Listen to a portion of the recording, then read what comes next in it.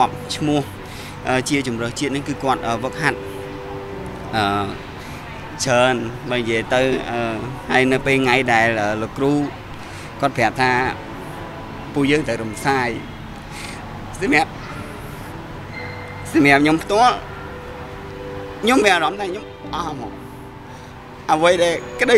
ក្តីសម័យរបស់យើងយើងគិតថា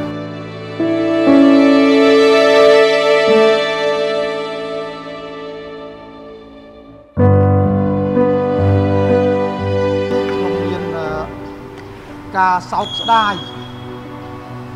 ដែលខ្ញុំតំណាងសហព័ន្ធជាប្រធានសហព័ន្ធមានការសោកស្ដាយយ៉ាងខ្លាំងដោយសហព័ន្ធរបស់យើងត្រូវបានគណៈកម្មការខំសុកដកចេញពីការប្រកួតស៊ីហ្គេម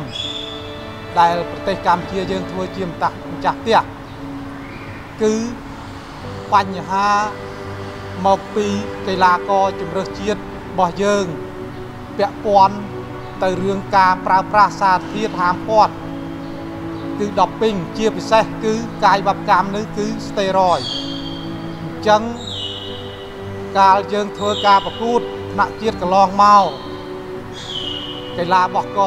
កីឡាកររបស់យើង បានពាក់ព័ន្ធជាមួយនឹងសារធាតុហាមឃាត់អញ្ចឹងថ្ងៃនេះ យើងធ្វើសន្និសិទសារព័ត៌មាន ដើម្បីឲ្យបងប្អូនប្រជាជន ទូទាំងប្រទេសកម្ពុជាឲ្យយល់ដឹងពី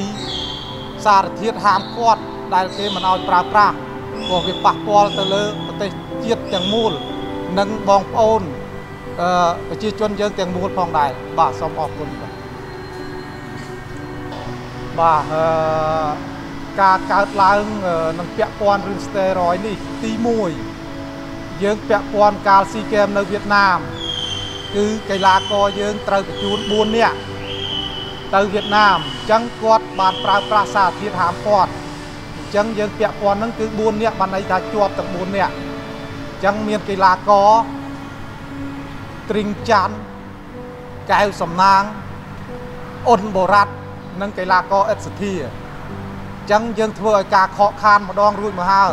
ព្រឹត្តិការណ៍នៅស៊ីហ្គេមនៅវៀតណាមហ្នឹង ហើយពេលថ្មីថ្មីនេះយើងបានរៀបចំប្រកួតកីឡាជាតិលើកទី3ឆ្នាំ2022នេះអញ្ចឹងកីឡាកររបស់យើងគឺបាននាំគ្នាប្រើប្រាស់សារធាតុនឹងហាមឃាត់ទៀតអញ្ចឹងថ្ងៃនេះខ្ញុំសូមឲ្យកីឡាករដែលពាក់ព័ន្ធរឿងហ្នឹងចេញមុខសារភាពចំពោះបងប្អូន និងប្រជាជនទាំងអស់ហើយសុំទោសជាសាធារណៈ ចំពោះកីឡាករទាំងអស់ដែលគាត់ប្រឹងប្រែងហ្វឹកហាត់ដើម្បីចូលរួមប្រកួតស៊ីហ្គេមសង្ឃឹមថាយើងនឹងបានធ្វើស៊ីហ្គេមប៉ុន្តែឥឡូវគឺគណៈកម្មការសម្រាប់ទម្លាក់ប្រភេទកីឡារបស់យើងចេញពីស៊ីហ្គេមហើយបាទអរគុណការប៉ះពាល់នឹងប្រភេទ12នឹង steroid នឹងកីឡាកាយកម្មនឹងធ្វើឲ្យប៉ះពាល់ធ្ងន់ធ្ងរចំពោះសហព័ន្ធព្រោះសហព័ន្ធប្រឹងប្រែងយកចិត្តទុកដាក់ វឹកហាត់កីឡាករទាំងក្នុងប្រទេសទាំងអន្តរជាតិយើងបានធ្វើការសម្របសម្រួលគ្រប់បែបយ៉ាងទាំងអស់តែទីបំផុតយើងជួបបញ្ហាដប់ពីងដោយសារកីឡាកររបស់យើងហើយទៀតសោតក៏កីឡាករដែលយើងជ្រើសរើសវឹកហាត់ជំរើសជាតិទាំងអស់ដែលយើងជ្រើសរើសហ្នឹងគឺយើងធ្វើកិច្ចសន្យាជាមួយកីឡាករគ្រប់កីឡាករទាំងអស់ថាហាមដាច់ខាត មិនឲ្យប្រើប្រាស់សារធាតុដែលហាមឃាត់ហ្នឹងជាពិសេសកីឡាកាយបកម្មរបស់យើងហ្នឹងគឺ steroid ហ្នឹងអញ្ចឹងខ្ញុំមានការសោកស្ដាយមែនទែនហើយនឹងឈឺចាប់តើហេតុអីយើងដឹងហើយឮហើយថាសហព័ន្ធយើងប្រឈមមុខម្ដងហើយម្ដងទៀតរឿងតា steroid មូលហេតុអីក៏យើងនាំគ្នាបំផ្លាញទាំងអស់គ្នា គួរតាយល់ពីសហព័ន្ធសហព័ន្ធប្រឹងប្រែងខ្នះខ្នែងគ្រប់បែបយ៉ាងជួយកីឡាករគ្រប់បែបយ៉ាងណា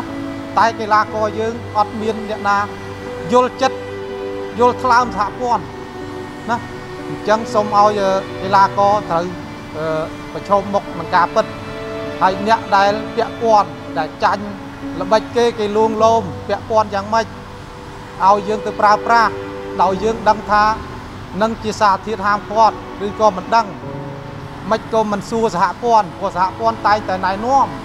ប្រាប់ថាមុននឹងប្រើប្រាស់សារធាតុអ្វីក៏ដោយគឺឲ្យសួរសហព័ន្ធមុន ថាប្រើបានឬមិនប្រើព្រោះកីឡាកាយវកម្មរបស់យើង គឺប្រឈមមុខនឹងស្តេរ៉ុយខ្លាំងជាងគេអញ្ចឹងជាច្បាប់ហាមឃាត់ទូទាំងពិភពលោកអញ្ចឹងมันអាចយកថ្នាំនឹងមកបំផ្លាញសុខភាព ប្រជាជន និងសុខភាពសាធារណៈទាំងអស់នៅក្នុងប្រទេសកម្ពុជាបានទេបាទសូមអរគុណឈ្មោះផាន់រិទ្ធជាកីឡាករកាយវកម្មនិងជាកីឡាករជម្រើសជាតិផងដែរអឺខ្ញុំជាបានចូលរួមការប្រកួតកីឡាកាយកម្មនៅថ្នាក់ជាតិលើកទី3ក្នុងវិញ្ញាសាបរោះសាច់ដុំទម្ងន់60គីឡូអញ្ចឹង ការប្រកួតនោះគឺខ្ញុំទទួលបានមេដាយមាសអញ្ចឹងបន្ទាប់ពីខ្ញុំចុះពីឆាកវិញគឺមានក្រុមដុបពីងគាត់មកយកខ្ញុំទៅតេស្តទឹកនោមរកមើលសារធាតុហាមឃាត់បន្ទាប់មកគឺខ្ញុំបានសហការជាមួយនឹងពួកគាត់ដើម្បីតេស្តរកមើលសារសារធាតុហាមឃាត់ហើយពួកគាត់ក៏បានសួរយើងដែរថាយើងមានប្រើប្រាស់អីខ្លះអញ្ចឹងយើងក៏ប្រាប់ដែរថាយើងបានប្រើរបស់ឆ្នាំចោះជាតិទឹកបាទអញ្ចឹងទៅក៏គាត់បានបញ្យល់មកយើងវិញថាអានឹងវានៅក្នុងបញ្ជីគេហាមឃាត់តអញ្ចឹងទៅក៏ខ្ញុំមានការសោកស្ដាយជាខ្លាំងខ្ញុំតែមិនដឹងនៅពេលដែលក្រុមដុបពីងកម្ពុជាគាត់បញ្យល់មកខ្ញុំហ្នឹងបាទខ្ញុំដឹងថាអូអានឹង ខ្ញុំបានដើរផ្លូវខុសបាត់ហើយអញ្ចឹងទៅខ្ញុំពិតជាមានការសោកស្ដាយខ្លាំងមែនតើអឺមូលហេតុគឺវាអញ្ចេះមុនថ្ងៃប្រកួតមួយថ្ងៃហ្នឹងគឺពួកខ្ញុំជាមួយនឹងមិត្តភ័ក្តិហ្នឹងគឺបានទៅហ្វឹកហាត់នៅក្លឹបហាត់ប្រាណ King Gym ដែលមានម្ចាស់ក្លឹបហ្នឹងគឺជាអ្នកគាត់ជាកីឡាករគាត់ជាអ្នកនៅក្នុងវិស័យនឹងដែរ យើងស្គាល់គ្នាយូរមកហើយគឺយើងទៅដើម្បីឲ្យគាត់ជួយមើលការបង្ហាញផ្នែកសាច់ដុំមួយមួយឬក៏សុំយោបល់ពីគាត់ថាតើអាថ្ងៃមុន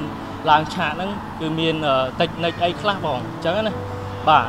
ដល់ពេលយើងហ្វឹកហាត់ហើយយើងសមបង្ហាញសាច់ដុំហើយអឺគាត់បានឲ្យខ្ញុំអឺសួរពួកខ្ញុំថាតើអាចមកគេងនៅនឹងបានអត់ យប់ហ្នឹងយើងមានវិធីសាស្ត្រពិសេសអាចជួយកែកុនបានបន្តិចទៀតដែរដើម្បីឲ្យយើងមើលទៅកាន់តែស្អាតអញ្ចឹងបាទអញ្ចឹងពួកយើងក៏បានទៅត្រឡប់ទៅផ្ទះវិញដើម្បីរៀបចំកៅអៅត្រៀមមកគេងនៅនឹងហើយនឹងព្រលឹមឡើងយើងចេញទៅឆាកប្រកួតតែម្ដងអញ្ចឹងនៅពេលយប់ហ្នឹងគឺពួកយើងក៏អត់តន់ដឹងដែរថាមានវិធីអី ដល់ពេលយើងញ៉ាំអីញ៉ាំអីហើយយើងគេងសម្រាប់គាត់ថាកន្លះម៉ោងទៀតបានពួកយើងត្រូវចោះទឹកនោមតែយើងក៏អត់ដឹងដែរថាអានឹងវាប៉ះពាល់ដល់អញ្ចឹងអញ្ចឹងគាត់ក៏បានហៅគ្នាគ្នាខ្ញុំគឺម្ដងម្នាក់ម្ដងម្នាក់ចូលទៅបន្ទប់ដើម្បីចាក់អាហ្នឹងឆ្នាំចោះទឹកនោមហ្នឹងពេលដែលចាក់ហើយគឺយើង មានអាការៈនោមច្រើនខ្ទង់5 6ដងក្នុងមួយយប់គឺយើងអត់បានគេងឯពេលហ្នឹងងាកនោមងាកនោមអាហ្នឹងវាធ្វើយើងលក្ខខណ្ឌនៃស្បែករបស់យើងវារៀងស្ងួតអញ្ចឹងដល់ពេល5 6ដងនោះគឺអស់ហើយអញ្ចឹងយើងបានគេងតភ្លឺទៅបានយើងរៀបចំចេញទៅទីតាំងប្រកួតតែម្ដងពីដប់ពីងគាត់បានពិនិត្យខ្ញុំរួចរាល់ហើយខ្ញុំ ក៏ភ័យដែរមានព្រោះដោយសារគាត់បញ្យល់ថាហ្នឹងវាជាប់ពាក់ព័ន្ធហើយអញ្ចឹងយើងក៏បានទៅសួរនាំយោបល់ពីបងប្រុសសម្បូរសុភ័ណ្ឌតែគាត់បានធ្វើឲ្យយើងហ្នឹងតែបានអញ្ចឹងសួរគាត់ថាតើមានដំណោះដំណោះស្រាយអីជួយខ្ញុំអត់បងអញ្ចឹងគាត់បាននិយាយថាអឺបងមានស្គាល់សាររយៈខាងដប់ពីងនឹងដែរចាំមើលបង ជួយសួរនាំគេថាតើអាច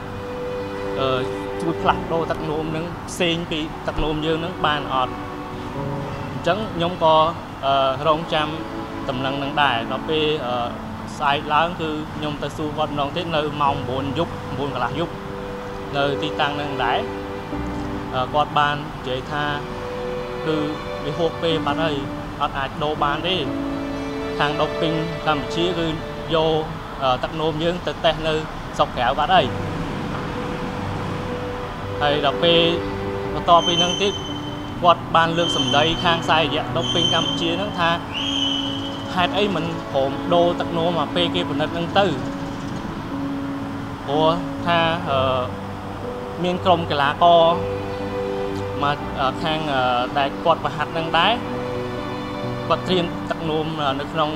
លីអូហើយត្រៀមចាំដូរបើសិនជាពួកដប់ពីងគាត់ចាប់តែខ្ញុំបើកវងកញ្ចក់កន្លែងនឹងតិចអាកន្លែងណាអាហ្នឹងគាត់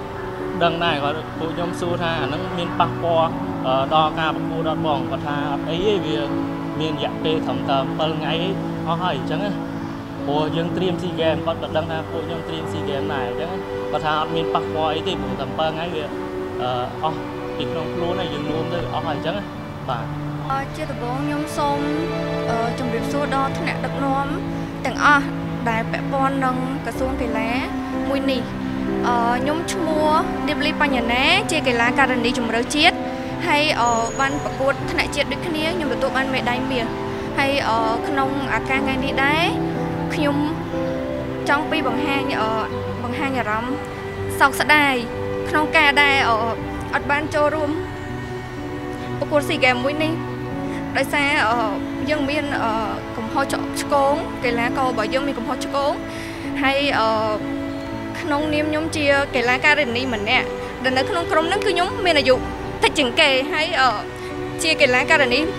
ស្រីម្នាក់ឯងដូចគ្នាអញ្ចឹងក្នុងការលំបាកក្នុងការវឹកហាត់គឺដូចបងដឹងហើយថាកីឡាកាយមួយកាយវិបកម្មមួយនេះគឺ ទាំងការវឹកហាត់ទាំងការញ៉ាំទាំងការតាំងចិត្តគឺត្រូវការស្មើគ្នាទាំងអស់យើងអាចបន្ថយមួយណាបានទេអញ្ចឹងទាំងការវឹកហាត់ការញ៉ាំហើយពេលវេលាបាញ់ចែកពួកខ្ញុំមានការងារខាងក្រៅដែរប៉ុន្តែនៅតែខ្ញុំផ្ដោតលើវិស័យមួយនេះដោយសារការស្រឡាញ់អញ្ចឹងដូចដូចថាវ័យខ្ញុំអាយុប៉ុណ្ណឹងមែនខ្ញុំត្រូវវ័យសុបាយរីករាយប៉ុន្តែដោយសារការស្រឡាញ់ការចង់ចូលរួមស៊ីហ្គេមមួយនេះដើម្បីតំណាងជាតិលើកមុខមាត់ប្រទេសជាតិ លើកមុខមាត់កីឡាករកាយវិការមួយនេះហើយនឹងលើកមុខមាត់សហព័ន្ធខ្ញុំចង់ធ្វើជាគំរូម្នាក់ដែលជាកីឡាករនីក្នុងនឹងចង់ឲ្យបងប្អូនចំនួនក្រោយដែលគាត់មានភាពក្លាហានប៉ុន្តែគាត់ហ៊ានបញ្ចេញយើងធ្វើជាគំរូឲ្យគាត់ឃើញថាអូយើងជាមនុស្សស្រីប៉ុន្តែយើងអាចចូលរួមកីឡាកាយវប្បកម្មនឹងបានដូចគ្នាហើយក៏ចង់ឲ្យប្រជាពលរដ្ឋរបស់យើង បានចូលរួមទស្សនាស៊ីហ្គេមដែលមានវិញ្ញាសាពួកខ្ញុំដូចគ្នាបង ហើយអខ្ញុំមានតែម្រាមដៃ10សូមសំណូមពរដល់ប្រមុខរដ្ឋាភិបាលសម្ដេចតែហ៊ុនសែនហើយនិងសម្ដេចយាយប៊ុនរ៉ានីឲ្យគាត់អឺផ្ដល់ឱកាសដល់ពួកកីឡាករដែលគាត់មានភាពស្អាតស្អំហើយនឹងការព្រឹកខំប្រឹងវឹកហាត់កន្លងមកឲ្យគាត់ហើយនឹងខ្ញុំបានចូលរួមអឺប្រកួត SEA Games ដើម្បីតំណាងឲ្យប្រទេសជាតិមួយនេះផងចា ហើយសូមឲ្យ